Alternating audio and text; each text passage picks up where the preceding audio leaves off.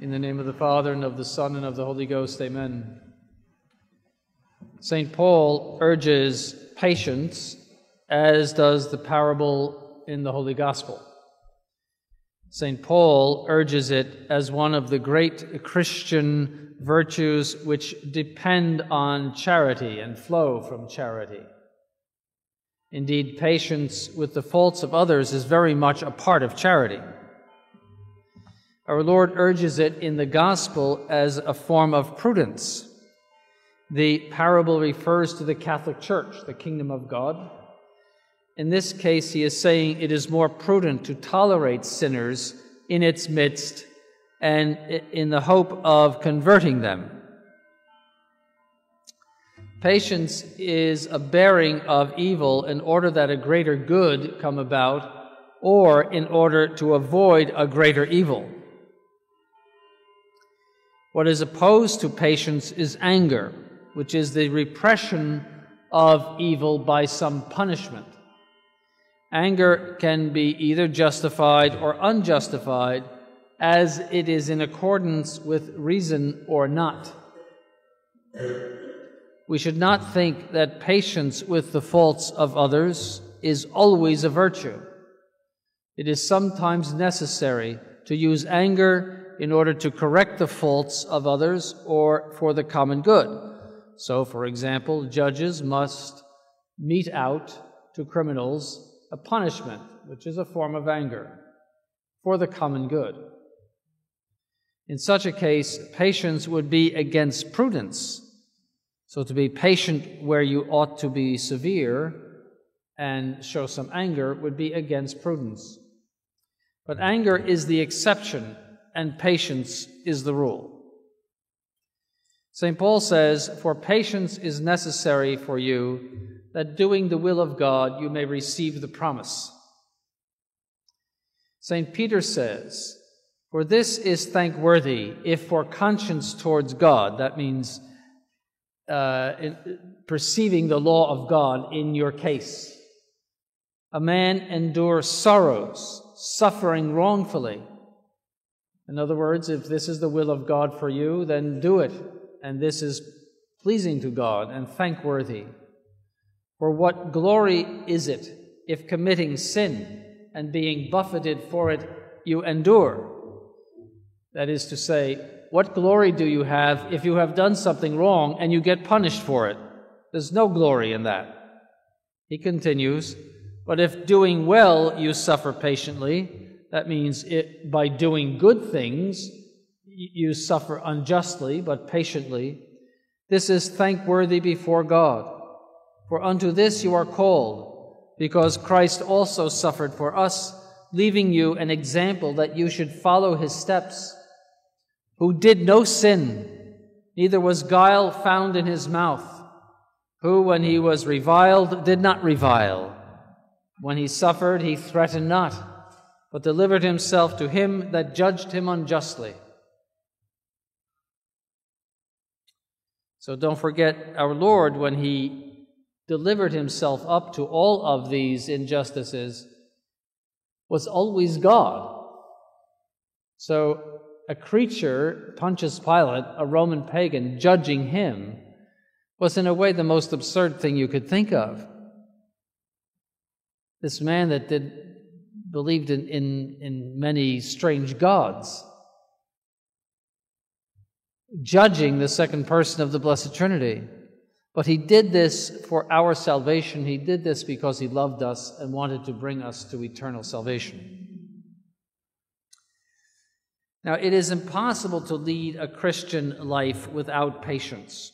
We are constantly buffeted by sinners in this life. Think of all the ways in which you have suffered at the hands of others through envy, jealousy, criticism, fault finding, calumny, and hatred. Often we are the victims of cheating, of lying, and of theft. Then there are the temptations which we must bear with patience those from the world, from concupiscence, and from the devil. We are beset the whole day with temptations. And God permits this in order to try our virtue. But it is a cross to bear, these temptations. You wish that they never came. There are many physical sufferings to bear from disease, from poverty, from the weather, from earthquake, and from famine. There is much mental anguish to bear. Think of those who suffer from mental illness, which is one of the worst afflictions of this life. There is much to bear in family life, the faults of one's spouse, the burdens of raising children, the worries over finances and one's job. Many suffer intensely from separation and divorce. St. Francis de Sales said that every day in the state of matrimony is a mortification. There is much to bear from loneliness in the single life and from losing one's spouse to death. Old age is fraught with suffering, both physical and mental. When I turned 70, somebody said to me, Do you know what it means if you wake up in the morning now and you don't have aches and pains. I said, No, what does it mean? He said, It means you're dead. It's true, true. All of these things come to us directly from the original sin of Adam and from the actual sins which we and others have committed. All of the sufferings of this earth come from sin. God created man in a paradise. It was man that messed it up by sin. Our lot is one of suffering in this life as a direct result of sin. It is not God's fault. So always remember, you cannot think of the human race without the overbearing and overwhelming problem of sin and its effects. All of the problems I mentioned come from sin in one way or the other. Our mortality comes from sin, our diseases, our pains come from sin.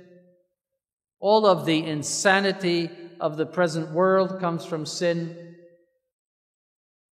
The, the crazy, mixed up, insane, and bizarre ideas that are coming out of people's heads that would have made our ancestors just shake their heads in unbelief if we told them that now we're hearing all of these uh, insane things.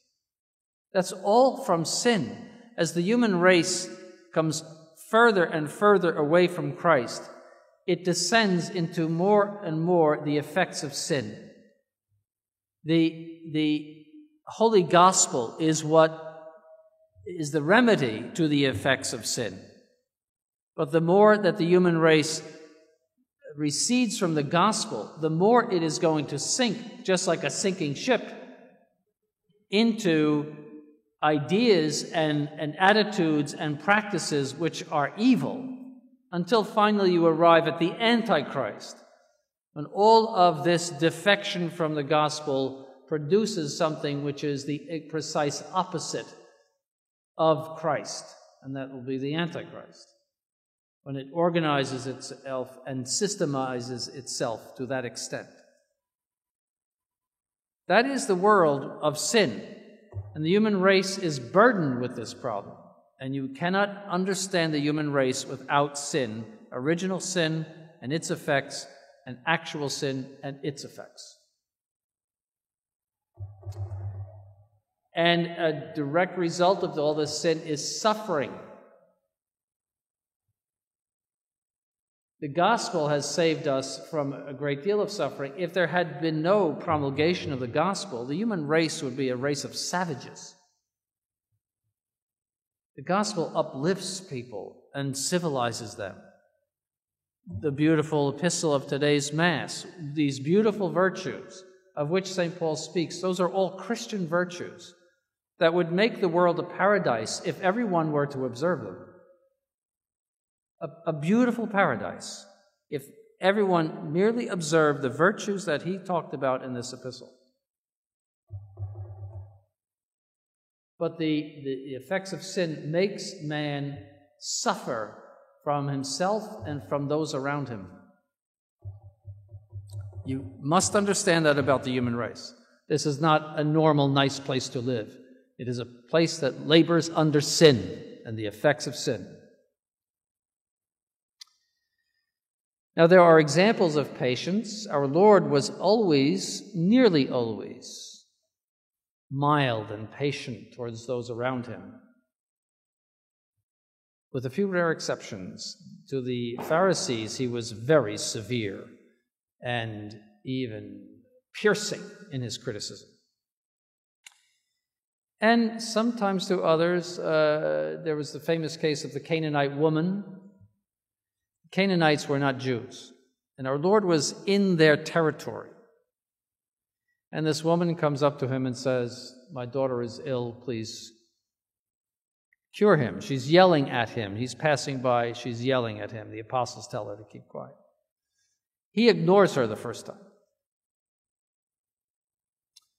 The second time, she cries out and says, My daughter is ill. Could, would you please cure her? And he turns around and says, My mission is not to you. My mission is to the Jews. It would not be correct for me to give the food that is meant for the, the Jews to the dogs. Now, this woman has a dying daughter, and he says that to her as if she's a dog. But then she comes back to him with a holy boldness and she says, Yes, but even the dogs get crumbs from the table. And he said, O woman, great is thy faith. You see, by his severity, he drew her out. He drew out faith in her. He perfected her by that very severity. So actually, it was an act of mercy that he did that for her. And the daughter was cured. So there was a, there's rare cases where he does that. But the overwhelming conduct of our Lord is one of mercy and mildness. Curing the man in the passion of the ear that was cut off by Peter. Father, forgive them, for they know not what they do the forgiveness of the good thief. The apostles consider the tremendous sufferings they endured by the preaching of the Holy Gospel, uh, finally, by their martyrdoms. St. Paul's life was one of great suffering. It's not recorded in the epistles, but it is recorded elsewhere they, that they actually put him in the arena in Ephesus and made him fight as a gladiator. Normally, you would die from that, or you had a 50% chance of dying from that. St. Bernard of Clairvaux said, All the things that the world loves, such as delights, honors, praise, and riches, are for me a cross, and all the things that the world considers a cross, I approach and kiss with great affection. St. Romuald, who was the head, the founder of the Camaldolese order, said uh, he, he was accused by one of his monks of having committed an abominable sin with him. He was condemned in a public chapter as deserving to be hanged and burned. Because of this calumny, he was forbidden to say Mass. He bore all of this in patience, although he was almost 100 years old. St. Teresa of Avila said this Since the Son of God obtained our salvation through suffering, he willed to teach us that there is nothing more fitting than suffering to give God glory and to sanctify our souls. St. John Chrysostom said, If God grants to you the gift of raising the dead, he would be giving you much less than when he permits you to suffer. St. Aloysius Gonzaga said, There is no surer way to know that one is a saint than to see him lead a holy life and yet suffer desolation, trials, and afflictions. And St. Vincent de Paul said, If we only knew the precious treasure hidden in infirmities, we would receive them with the same joy with which we receive the greatest benefits and we would bear them without ever complaining or showing signs of weariness. So, what is the economy of salvation? An economy, an economy is a situation in which you give something and you get something. So, what do we give? What do we get? If you go to the grocery store, you give them money, they let you have what's in your basket. There's an economy there. You give and you get. What we give is our suffering upon earth, the daily sacrifice of suffering. And that suffering has been given a value by the sufferings of Christ. If Christ had not suffered himself, our suffering would be useless in, as a sacrifice. It would not rise to God, for it would be simply a payment for something that we deserve, something that we owe. And we could never completely pay the entire amount because sin is an infinite offense, God being infinite. But the sufferings of Christ give value to our sacrifice. That's why St. Teresa said, if God has shown us suffering, it means that it is the way to, to salvation. So we offer our sufferings every single day by this patience, by bearing these crosses, big and small, in union with the sacrifice of Calvary and the holy sacrifice of the Mass that is offered every day. So the church is constantly sacrificing. Just as in the temple, there were sacrifices the whole day in the Old Testament. The church is constantly sacrificing.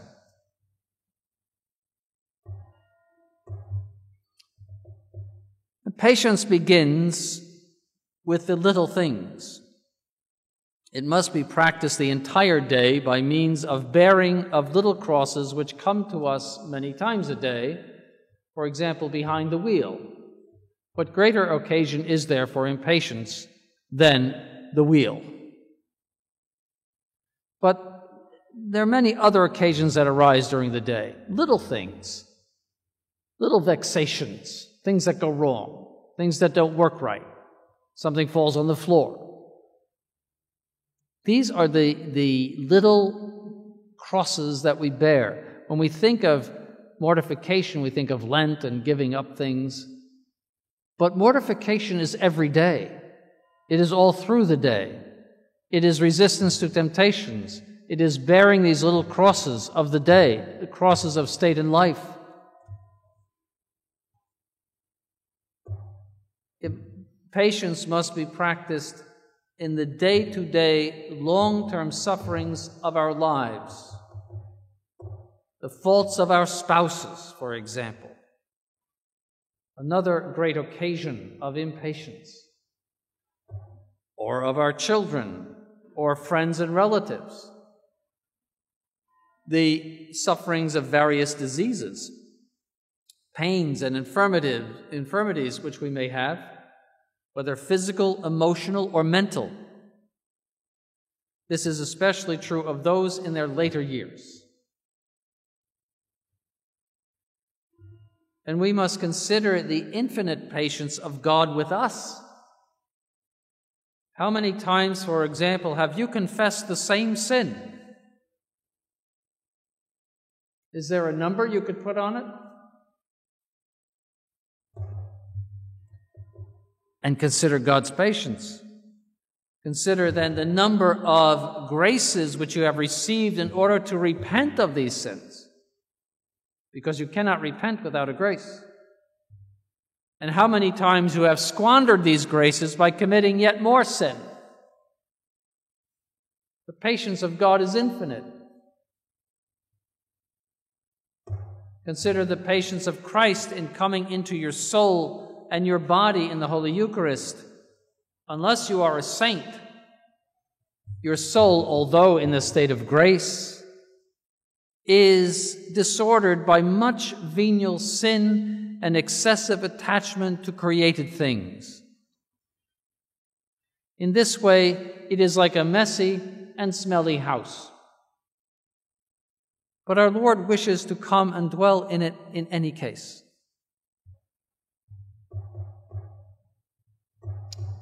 Patience must never be a cloak, however, for indiscipline, but it is nonetheless the norm of our daily conduct. It is a sin to tolerate what ought not to be tolerated. Toleration is considered a type of virtue today, that we have to tolerate everything. Toleration is not always good. Sometimes it is very bad to tolerate things. This is not patience, but negligence. In this way, Christ did not tolerate the pride of the Pharisees. He called them whitened sepulchres full of dead men's bones, and many other severe criticisms. He excoriated them to their faces on many occasions. Nevertheless, it remains true that our first inclination, when evil is inflicted upon us by others or by life in general, to be patient, deeply convinced by the Holy Gospel and of the necessity of suffering which we must bear in union with the sufferings of Christ. Our first inclination is to push suffering away through anger, some form of anger, just have a perfect life and push everything away that is, that is unpleasant to us. That's our first reaction. That's the reaction of nature. But the reaction of grace is to see the value of those sufferings in union with the sufferings of Christ, offering those sufferings for your own sins and for the sins of others. No saint was ever canonized whose life was characterized by a constant vindication of his own rights, by outbursts of anger towards his enemies or towards sinners, by acts of cruelty and severity towards those who trespass against them, or by the exacting of strict justice for anyone who did them harm. Instead, we marvel at their lives in their lives the patient bearing of these wrongs. Their lives were characterized by, what St. Paul says pertains to the elect of God mercy, benignity, humility, modesty, patience, bearing with one another and forgiving one another if any have a complaint against another, even as the Lord hath forgive, forgiven you so you also. In the name of the Father, and of the Son, and of the Holy Ghost, amen.